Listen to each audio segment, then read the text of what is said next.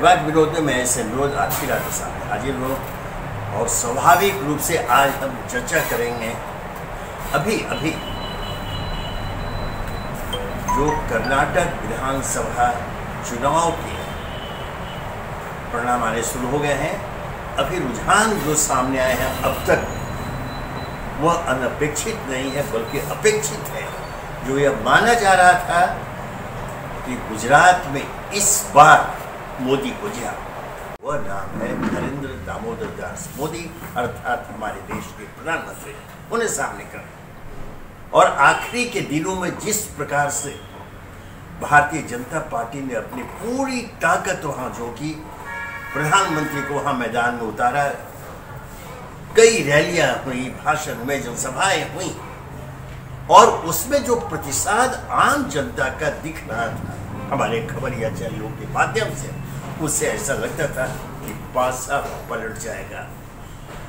चुनाव पूर्व जितने पूर्वानुमान आए थे ओपिनियन पोल आए थे, फिर जो एग्जिट पोल आए, उसमें कांग्रेस को बढ़त दिखाई दे रही थी। इससे लेकर के भारतीय जनता पार्टी खेमे में चिंता थी। लेकिन वो दावा कर रहे थे कि देखिए, जीत तो हमारी होगी। लेकिन अब तक अभी दिन सुबह के साढ़े नौ बज रहे हैं। और अभी तक जो रुझान सामने आए उसके अनुसार कर्नाटक की 2024 विधानसभा सीटों में 131 पर कांग्रेस अकेले आगे है। अर्थात बहुमत का जो जादुई आंकड़ा 113 उससे भी आठ सीट वो आगे है। और दूसरी तरफ़ जो भारतीय जनता पार्टी है वो जो सौ के आंकड़े को छूने के बाद वो अब आकर के सतहत्तर पर आ गई है। इस प्रकार अब यदि कहा, कहा जा सकता है कि हालाँकि अभी भी मैं बता दूँ अभी जो रुझानों में उलटफेर हो रहा है और अभी जो ताज़ा स्थिति कांग्रेस के पाले में 123 और बीजेपी को 77 सीटें आई है जेडीएस को 22 आई है। बावजूद इसके यह तो तय है जो अभी अगर यह रुझान परिणाम में परिवर्तित होता है तो कांग्रेस अकेले बलबूते पर बहुमत की सरकार बनाने में सफल हो सकती है। अगर कुछ बहुत उलट उलटफेर अंतिम क्षण में नहीं हो गया ये अभी ध्यान रखें बार बार मैं बता रहा हूँ, ये रुझान है, ये परिणाम नहीं है। लेकिन अमूमन कुछ एकाध प्रतिशत को छोड़ करके रुझाने सही परिणाम में परिवर्तित होती है। तो अभी जैसे कम हो गया? अभी 118 पर आ गए कांग्रेस और बिरासी पर चले गए हैं। भारतीय जनता पार्टी। लेकिन आगे पीछे लेकिन यह तो तय लग रहा है कि कांग्रेस ने भाजपा को वहाँ पटखनी दे दी है। और यह अपेक्षित था। अपेक्षित इसलिए था कि अब एक लहर पूरे देश में, ध्यान रखें इस बात की चली कि क्या भारतीय जनता पार्टी, भारतीय जनता पार्टी अर्थात वह भारतीय जनता पार्टी, वह अटल बिहारी वाजपेयी आडवाणी वाली भारतीय जनता पार्टी जो कभी अपने चाल चरित्र और चेहरे के कारण आम जनता के बीच में उसे एक व्यापक स्वीकार्यता प्राप्त हुई थी और यही कारण है कि जो भारतीय जनता पार्टी कभी लोकसभा में मात्र दो सीटें थी, सिर्फ़ दो सांसद उनके थे। आज तीन सौ से ऊपर जनता का समर्थन मिला था। यह भारतीय लोकतंत्र की खुशबू है। और जो लोग कहते हैं, हमारे भारतीय की जनता को, भारत के मतदाता को क्षमा करेंगे। पीड़ा कभी होती है मार्कंडे कारजोल जैसे व्यक्ति ने पिछले दिनों टिप्पणी की थी कि देश के 90 प्रतिशत जनता मूर्ख चोट पहुँचे थे दिल को, कि क्या सचमुच? लेकिन वे उनका अपना आकलन था और अनेक मुद्दों पर उनको कुछ मुद्दे आधारित उनके आकलन थे। ऐसा कहा जाता था कि सचमुच, यहाँ की जनता अपने विवेक का ईमानदारी से इस्तेमाल नहीं कर पाती। लेकिन यह जो गुजरात के जो परिणाम के जो रुझान सामने आ रहे हैं उससे ऐसा लगता है कि इस बार मतदाता ने गुजरात क्षमा करेंगे कर्नाटक के, के मतदाता ने अपना मानस बना लिया था कि नहीं हम किसी को भी किसी से अर्थात या किसी भी राज दल को उस अहंकार के तालाब में डुबकी नहीं लगाने देंगे। जहाँ स्नान करने के बाद वो स्वयं को तानाशाह समझने लगे। या अपने को अजय समझने लगे, क्योंकि लोकतंत्र में असली ताकत जनता के पास है। जनता इसे बार बार चिन्हित करती है। और सबों की निगाहें, कर्नाटक के चुनाव पर इसी लगी थी। ये पूछा जा रहा था कि क्या मोदी का मैजिक, मोदी का जादू, मोदी का करिश्मा कायम रह पाएगा? जिस प्रकार के दावे भाजपा जनता पार्टी करती रही है, या फिर परिवर्तन के रूप में वहाँ के मतदाता भारतीय जनता पार्टी को हाशिए पर रखकर कांग्रेस को सामने लाएगी, या जो तीसरी जो मज़बूत स्थानीय जेडीएस, जनता दल सेक्युलर, उनकी पार्टी, लेकिन उनकी स्थिति। अब जो ताज़ा, जो आंकड़े अभी आ रहे हैं, कांग्रेस 109 और पचासी पर बीजेपी और 27 सीटों पर जेडीएस को बढ़त मिल। ये रुझान है, फिर बता रहा हूँ, ये परिणाम नहीं है। लेकिन अगर ये रुझान परिणाम में परिवर्तित होते हैं तो यह तो तय है कि कांग्रेस नेतृत्व की सरकार बनेगी, या तो बहुमत की सरकार बने, या फिर जेडीएस के समर्थन से। ठीक है, राजनीति है। इसमें काफ़ी बातें होती हैं अगर किंग मेकर की भूमिका में जेडीएस पहुँच जाती है तो ज़ाहिर है कि उनकी मांगे बड़ी होंगी। और भारतीय जनता पार्टी को अलग रखने के लिए कोई आश्चर्य नहीं है कि शायद कांग्रेस मुख्यमंत्री पद भी जेडीएस को दे दे। इसमें कोई आश्चर्य की बात नहीं है क्योंकि कांग्रेस के सामने अभी एक लक्ष्य है, भारतीय जनता पार्टी को सत्ता से बाहर रखना, जो इस सिर्फ़ कर्नाटक चुनाव की बात नहीं है। इसका सीधा असर अब कुछ माह पश्चात होने वाले 2024 के लोकसभा चुनाव पर पड़ेंगे। और निश्चय ही अगर यहाँ पर भारतीय जनता पार्टी सत्ता से बाहर होती है कर्नाटक में तो फिर एक प्रयास जो अभी चल रहे हैं, विपक्षी दलों के बीच एकजुट हो करके एक मंच पर आकर भारतीय जनता पार्टी को चुनौती देने की तो यह तय जानिए कि शायद उसमें वह सफल हो जाएँगे, क्योंकि ये चुनाव परिणाम उन्हें प्रेरणा देगी कि हाँ भारतीय जनता पार्टी को पराजित किया जा सकता है। अभी तक जो यह प्रचारित किया जाता है, यह जो मोदी और शाह की जो जोड़ी है, उसे हराना आसान नहीं है, बल्कि वो अजय हो चुके हैं। लेकिन अब जो हमारे अपनी बिरादरी के लोग हैं, हमारे मीडिया कर्मी, हमारे पत्रकार, हमारे राजनीतिक विश्लेषक, अब उन पर भी कई तरह के आरोप लगते हैं। उनकी निष्पक्षता को लेकर, उनकी निडरता को लेकर कई तरह का आरोप लगते हैं। क्योंकि मैं आप ध्यान देना चाहूँगा, अभी पिछले दिनों जब तीन महत्वपूर्ण चुनाव हुए थे देश में एक गुजरात विधानसभा, हिमाचल विधानसभा और दिल्ली एमसीटी परिणाम क्या हुए? गुजरात अपवाद के रूप में छुड़ा सकता है। प्रधानमंत्री मोदी का गृह प्रदेश गृह मंत्री अमित शाह का गृह प्रदेश या अन्य बहुत सारे कारणों हैं वो एक प्राथमिकता होती है कि हमारे राज्य का प्रधानमंत्री है, व्यक्ति प्रधानमंत्री है। वह एक उसके पक्ष में हवा चलती है, लेकिन उसके बाद फिर जिस तरह से यहाँ अभी कर्नाटक में जो पूरी ताकत जिस प्रकार से लगाई, भारतीय जनता पार्टी ने हिमाचल प्रदेश में लगाई थी, लेकिन वहाँ कांग्रेस की सरकार बनी।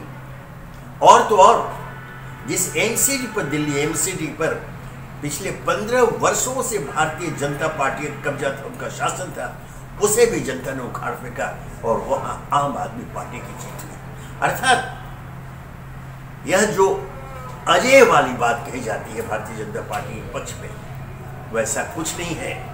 मोदी को पराजित किया सकता है, भारतीय जनता पार्टी को पराजित किया सकता है। यह हिमाचल प्रदेश और एम सिटी के चुनाव परिणाम में साबित कर दिया था। और ये जो ताज़ा आज अभी फिर बताता हूँ, ये अभी रुझान आ रहे हैं। अभी सुबह के करीब नौ बज के चालीस मिनट अभी होने जा रहे हैं। परिणाम लगभग बारह बजे तक और परिणाम आएँगे। लेकिन इन रुझानों से तो यह लगता है कि भारतीय जनता पार्टी की सरकार नहीं बन पाएगी, वो पुनः सत्ता में नहीं आ पाएगी। अब चूँकि जो आंकड़े, जो कभी उलट थे, जो बिल्कुल कहते हैं, आईपीएल क्रिकेट खेल की तरह, कभी आगे, कभी पीछे, वो स्थिति भी हो रही है। अभी कांग्रेस 112 सीट पर आई है। 113 का जादुई आंकड़ा से एक कम और छियासी छियासी सीटों पर भारतीय जनता पार्टी है और 23 पर जेडीएस है। ध्यान रखें। यहाँ भी सबसे अगर इसी, अगर यही आंकड़े अगर परिणाम में परिवर्तित होते हैं तो फिर सबसे बड़ी पार्टी के रूप में कांग्रेस उभरती है और तब ज़ाहिर है, हालाँकि राजनीति में इन दिनों भविष्यवाणी नहीं करनी चाहिए, लेकिन जो स्थापित परंपरा है और जिस आधार पर हम राजनीतिक विश्लेषण करते हैं, अगर उसे धूरी मान ले तो फिर जेडीएस का समर्थन कांग्रेस को मिलेगा, चाहे वे बहुत बड़ी सौदेबाजी क्यों न कर ले। हो सकता है कि वो मुख्यमंत्री की कुर्सी भी मांग ले और कांग्रेस सरकार भी कर ले, यह भी संभावना है। लेकिन परिणाम यह हुआ कि भारतीय जनता पार्टी को बहुत बड़ी शर्म का सामना करना पड़ जाएगा। चूँकि यहाँ पर ध्यान रखें अब जो चुनाव पिछले बहुत जो होते चले आए हैं, जहाँ जहाँ भारतीय जनता पार्टी की जीत हुई है, सिर्फ़ लोकसभा में भी जो विशाल बहुमत मिला, उसका श्रेय उसका श्रेय सिर्फ़ और सिर्फ़ प्रधानमंत्री मोदी को दिया था और किसी को नहीं, पार्टी को नहीं दिया जाता है। वो सारा श्रेय मोदी को मिलता है। तो ज़ाहिर है कि जब जीत की अवस्था में श्रेय मोदी को मिलता है तो पराजय की अवस्था में भी उसका सारा का सारा दोष उनके सिर पर जाएगा। चाहे कोई कितनी भी लिपापोती करने की कोशिश कर ले, कोई कितना भी बचाव कर ले, लेकिन यह हकीकत और यह हकीकत और यह हकीकत, यह जन इच्छा है। मैं यह दोहरा देना चाहता हूँ। यह चुनाव परिणाम किसी एक राज्य के विधानसभा के चुनाव परिणाम के रूप में न ले। चूँकि यह ये जो कर्नाटक है, इसे बोलते हैं कि ये दक्षिण का द्वार है भारतीय जनता पार्टी के लिए। दक्षिण में एकमात्र कर्नाटक जहाँ उसकी सरकार थी। अगर वहाँ से वह पदस्थ होते हैं, बाहर होते हैं तो फिर स्थिति ये होगी कि दक्षिण का द्वार उनके लिए बंद हो जाएगा। यह एक बहुत बड़ी पराजय विशेष रूप से प्रधानमंत्री नरेंद्र मोदी के लिए होगी उनके रणनीतिकारों के लिए होगी। और जनता की जो यह इच्छा है, उसे इस रूप में देखा जाना चाहिए कि हम सब कुछ बर्दाश्त करते, कर कर रहे हैं। आज जो कमर तोड़ महँगाई है देश में, आज जो बेरोजगारों की जो बड़ी फौज खड़ी है, उस पर कोई चर्चा नहीं होती है लोगों ने स्वीकार कर लिया है। आज चर्चा होती है कि हमारे भारत का लोकतंत्र किस तरह से न केवल जीवित रहे और मजबूती की ओर बढ़े। हम जिस लोकतांत्रिक संसदीय प्रणाली पद्धति में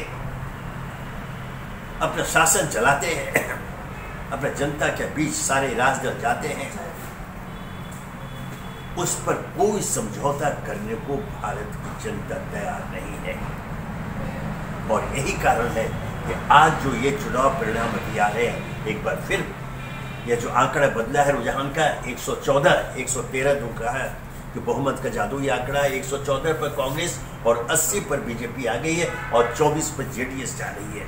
यह अभी का ताज़ा है। जैसे मैंने कहा कि अगर यह, ये जो रुझान है, परिणाम में परिवर्तित होते हैं तो यह भारतीय जनता पार्टी के विचारों को उसके नेतृत्व, उसके नीति निर्धारकों के लिए एक बहुत बड़ी चुनौती होगी और भारतीय लोकतंत्र की यह एक ऐसी विजय होगी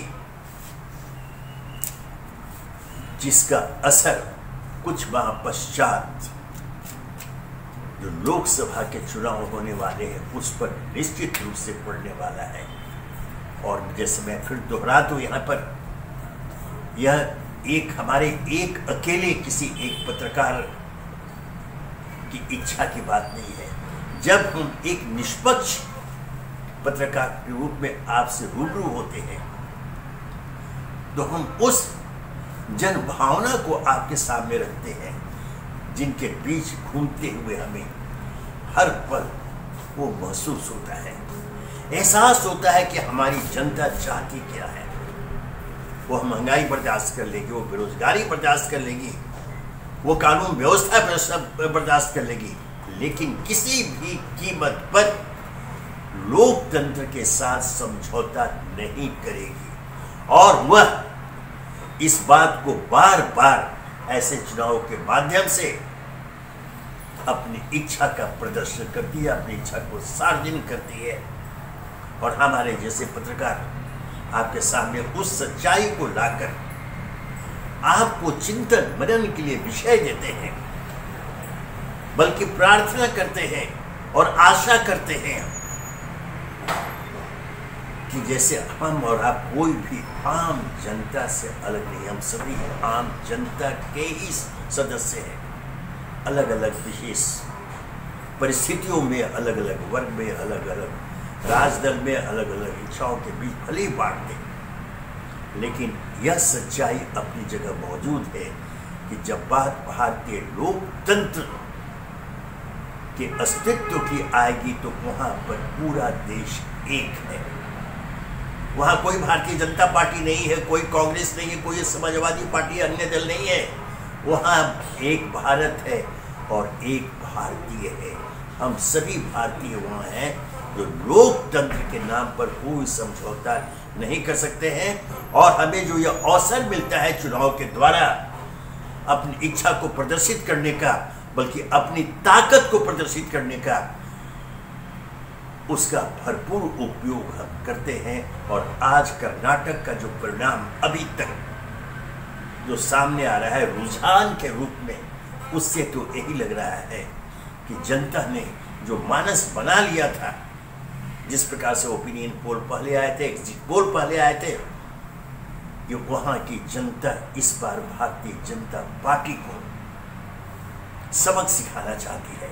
इसलिए नहीं कि उनको उनसे घृणा है, इसलिए नहीं कि उन्हें मोदी से घृणा है, इसलिए नहीं कि उन्हें अमित शाह से घृणा है, इसलिए नहीं कि भारतीय जनता पार्टी से उनकी घृणा है। इसलिए वो चाहते हैं कि वो भी लोकतंत्र के रास्ते पर चले और जन भावना का आदर करें और हर तरह से लोकतंत्र के मार्ग पर चलते हुए आप विकास के जो आश्वासन आपने आम जनता को दिए हुए हैं, जनहित में जो आपने योजनाओं की घोषणा की है, जो नीतियाँ बनाई है, उनका ईमानदारी पूर्वक क्रियान्वयन किया जाए ताकि आम जनता लाभान्वित हो सके। उसे आज जो दैत्य के रूप में जो महँगाई है, उसे छुटकारा मिल पाए। अगर सत्ता ईमानदार हो जाएगी अगर सत्ता प्रतिबद्ध हो जाएगी, अगर सत्ता जनहित में कदम उठाने के लिए कसम खा लेगी तो फिर एक महँगाई का दैत्य क्या, एक बेरोजगारी का दैत्य क्या, ऐसे सैकड़ों दैत्य दैत्य महादैत्य सामने आ जाए। भारत की जनता सक्षम है उनसे मुकाबला करने के लिए।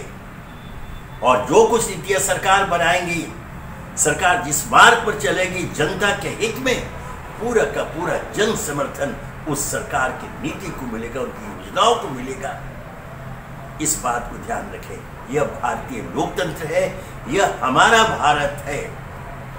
जो सब कुछ बर्दाश्त कर लेगा, लेकिन पुनः दरा दो लोकतंत्र के नाम पर कोई समझौता नहीं। और यह, अगर जिस प्रकार के रुझान कर्नाटक चुनाव के आ रहे हैं, अगर ये परिणाम में परिवर्तित होते हैं तो एक बार इस बात की फिर पुष्टि हो जाएगी।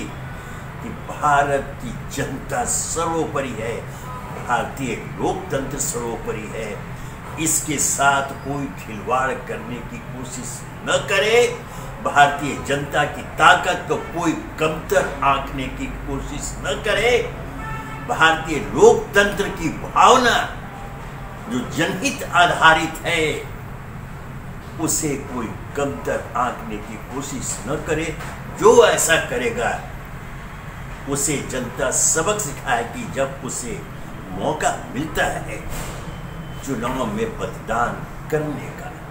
अर्थात यह फैसला करने का जब अवसर आता है, उसे अधिकार मिलता है कि आप अपने शासक को चुन लो तो उसका वो निडरता पूर्वक उपयोग करती है और वह लोकतंत्र के हित में उपयोग करती है। अपवाद स्वरूप कोई व्यक्ति विशेष हो सकता है।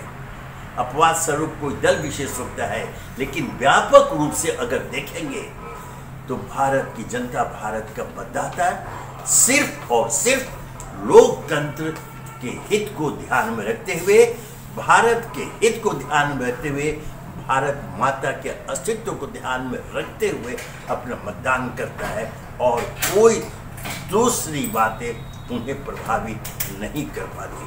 धन्यवाद।